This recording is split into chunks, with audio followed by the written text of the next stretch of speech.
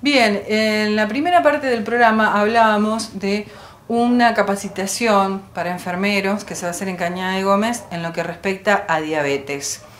Para anotarse tienen que enviar eh, su información o hacer consultas a este mail. Es dbaltat, dbt, de diabetes, dbt, enfermería 2017, arroba hotmail.com. Allí se anota y se informa de este curso, de esta capacitación gratuita que se va a hacer a partir del 8 de abril, dura hasta el 29 de julio. Esta capacitación son nueve encuentros cada 15 días los sábados en Cañada de Gómez, lo organiza el Hospital San José de Cañada. Vamos ahora a compartir las propiedades de los alimentos. En esta ocasión, el tan querido ajo, ¿eh? que nos gusta tanto, pero que a veces por una cuestión de su aroma, no lo consumimos eh, eh, seguido, no lo consumimos a menudo. Bueno, propiedades del ajo. Entérese de todo lo bueno que tiene el ajo para nuestra salud.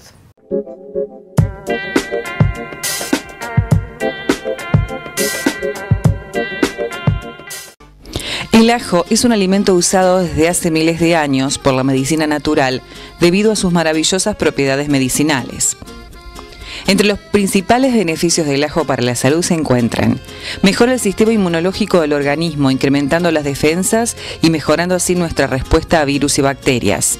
Aumenta la energía y vitalidad mejorando enormemente la calidad de vida. Es anticoagulante, vasodilatador y depurador.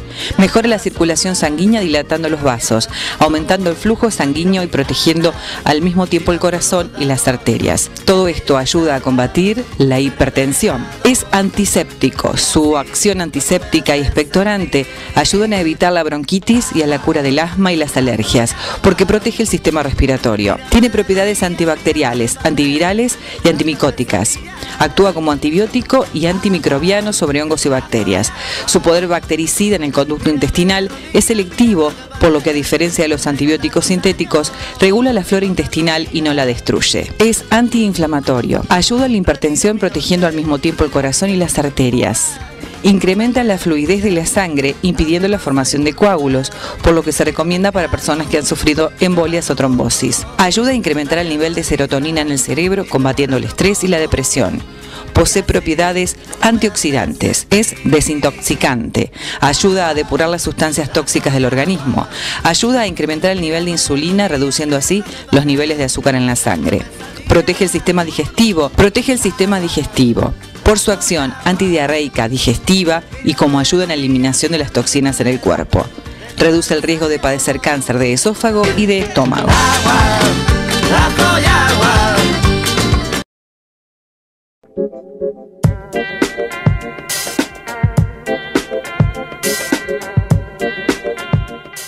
Bien, seguimos en 10 en Salud y en esta parte del programa estamos con Cristina, Cristina San Antonelli, también representando al Hospital Dr. Carlos Huitía. Sabemos que el hospital eh, está brindando eh, muchísimo a la comunidad en lo que respecta a estudios, en lo que respecta a atención médica y un montón de profesionales. Y bueno, la idea es que nos cuentes un poco, Cristina, cómo eh, estés trabajando dentro del hospital y cómo están trabajando los profesionales, en qué horarios, qué, cuáles son la, la forma que siempre uno se pregunta cómo hacer para sacar turnos, cómo hay que hacer, a qué hora hay que ir. ¿Qué tal? Buenas noches. Buenas noches, buenas noches a todos.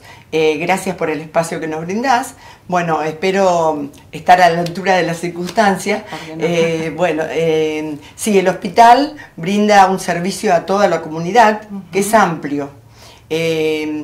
Quisiéramos tener más cosas, pero por el momento, debido a que no tenemos mucha capacidad en los consultorios, tenemos eh, estas especialidades que estamos trabajando en este momento. Nos interesaría que la gente vaya, se llegue, consulte, pregunte. Los horarios de atención estamos desde las 7 de la mañana hasta las 1 y media, 2 de la tarde. Después hay guardia. O sea que los casos que tienen que hablar y dialogar con nosotros tienen que ir dentro de ese horario. Eh, si van temprano y están los profesionales, son atendidos rápidamente y bueno, eh, está el servicio de farmacia, de enfermería, que estamos trabajando todos a la par. Y Cristina, eh, sabemos que hay una gama importante de profesionales. A grandes rasgos, recordar las diferentes eh, especialidades. Sabemos que hay, bueno, dentista, hay psicología. Bueno, mira, te cuento. El dentista en este momento, o la dentista, o odontóloga, no está trabajando en el hospital, porque se le reformó el consultorio. Bien. Entonces ella está trabajando en el dispensario, en el centro comunitario. Sí. Eh, allá atiende los, eh, esta profesional eh, atiende a los pacientes nuestros y, los, que van al centro. Por ejemplo, ¿qué más hay? Traumatología, pediatría, ginecología y obstetricia fundamental. Claro, sí. Se, se, trabaja con la embarazada desde el momento que está gestando su bebé hasta el momento que va a ocurrir el parto, que ahí la misma profesional va a saber a qué lugar la va a derivar para que tenga su bebé, porque nosotros eh, circunstancialmente no tenemos una sala de parto acá en Carcarañá. ¿Y va a volver? ¿Vos qué decís? ¿Conseguirá eso con los años? No podemos saber. Ojalá que sí. Ojalá que se dé. Bueno, en Marta, en la otra parte de la entrevista, nos hablaba de que las obras están en un 75% prácticamente terminadas. Sí. El otro 25%, ¿tenés idea de cuándo va a venir el dinero? Si van a poder seguir, si terminará este año. No sabemos, vamos haciendo de a poquito y a medida, a medida que el dinero va ingresando y que tenemos gente que colabore o gente que nos ayude, despacito vamos a ir haciendo. ¿Cómo se hizo esto? A mucho, mucho pulmón y mucho esfuerzo. Recordame los consultorios, ¿cuántos son? Los que se están construyendo. Los que se, eh, se, están construyendo, que no, no sé si lo vamos a terminar a todos, van a ser cinco. Pero, y la recepción, y los baños. O sea, es, una obra muy importante. Es una obra muy importante, sería la obra que cubriría y taparía todos los problemas que tendríamos en la parte de consultorio externo, tanto para nosotros, que somos el personal que estamos trabajando, como para la gente, que es la que utiliza los servicios. Tema vacunación, eh, bien, el horario es de 8 de la mañana a 16 eh, horas. y se están poniendo todas las vacunas del calendario y se está poniendo la vacuna de la gripe. Hay que recordarle a la gente eh, que siempre tiene que ir primeramente a su profesional donde se le indique. Porque hay ciertos requisitos y ciertos límites. Sé que es obligatorio para las embarazadas, ¿Y para los mayores de 65 años? Sí. Pero también tienen que ir con receta. Eh, los mayores de 65 años no tienen que ir con receta porque ya se las ponen, directamente se lo ponen. Los que ah, son de PAMI se lo ponen en PAMI y si no acuden al hospital. Los que tienen que ir con receta son las personas que tienen alguna patología y no están dentro de ese rango. Bien. ¿Por qué? Porque pueden ser asmáticos, pueden ser diabéticos. Pueden tener contraindicaciones. Pueden tener contraindicaciones. Entonces, por eso, con la receta del médico no hay ningún problema para colocársela. Cristina, ¿otras actividades que se proyectan en la comunidad desde el hospital? Bueno, ustedes eh, saben en general de que nosotros trabajamos mucho con la donación de sangre. Sí. Hacemos un esfuerzo enorme para que eso siga. Hace ocho años que estamos trabajando. Y este año Vamos a hacer, como años anteriores, una en mayo y una en noviembre. Sería dos al año. Bueno, ya estuvimos hablando con la gente del Rotary. Siempre buscamos a alguien que nos patrocine, alguien que nos ayude, porque los gastos son muchos y no vienen de ningún lado. Tenemos que bancar todo eso de a poquito y como podemos nosotros. Este año tenemos el auspicio del Rotary, que gracias a la colaboración de ellos vamos a poder llevar adelante el 19 de mayo la colecta siempre en el Salón de Bomberos, como venimos haciendo. Así que la gente falta, pero que la gente vaya teniendo en cuenta que si quieren colaborar, si quieren ir, si hay algún chico que quiere ayudar también, ayudarnos a nosotros con este programa de hemoterapia. Y aprovechando esa oportunidad, también van a hacer una reunión el día 7 de febrero, no, perdón, el día 7 de abril. Claro, tenés razón, 7 de abril.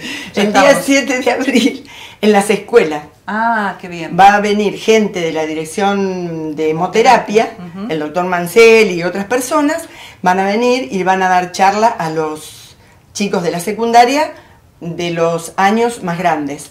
Así que recordamos, 19 de mayo. 19 de mayo es la colecta. Es la colecta, para ir pensándolo.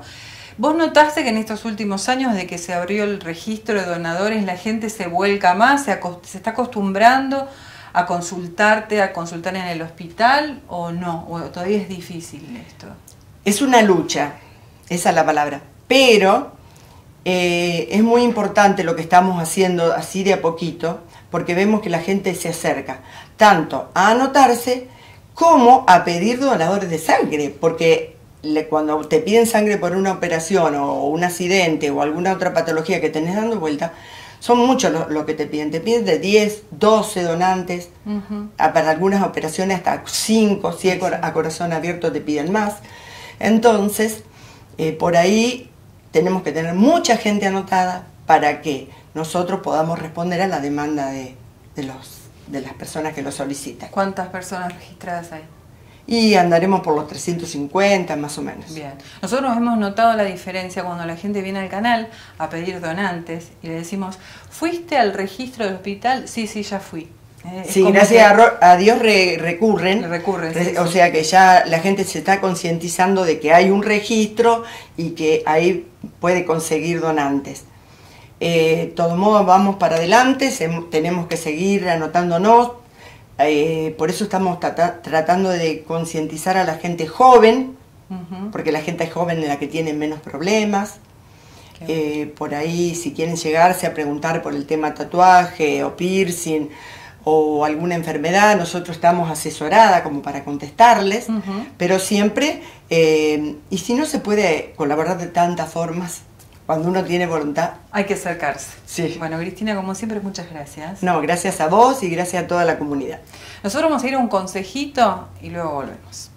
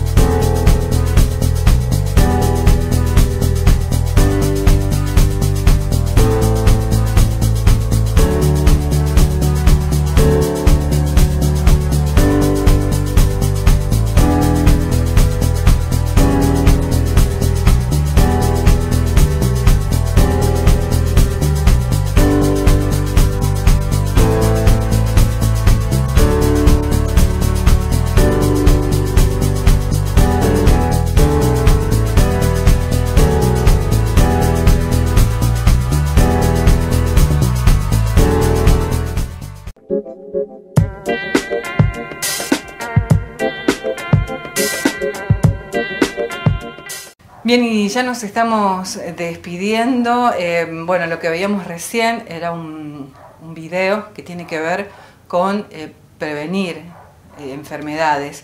Un video que, bueno, fue pasando por las diferentes redes sociales y grupos de WhatsApp. Me pareció muy interesante para tenerlo en cuenta en nuestro programa, así que espero que lo hayan visto y que les sirva, por supuesto, la información que emitíamos recién. Gracias por acompañarnos. Esto fue 10 en Salud. Agradezco a la gente de Natalia, de Mabel Foresi, de Juan Semini San Javier, a la gente de La Esquina, de Primero de Mayo y Belgrano, a Luisa, a Belén, a Gustavo, a Edgardo, a la gente de Nuevo Mundo, a nuestros auspiciantes, a nuestros televidentes, por supuesto, y también a la gente que hace posible este programa, referentes de instituciones de salud pública, privada, referentes médicos, a todos, muchas gracias. Nos encontramos en una próxima edición. Chao, hasta luego.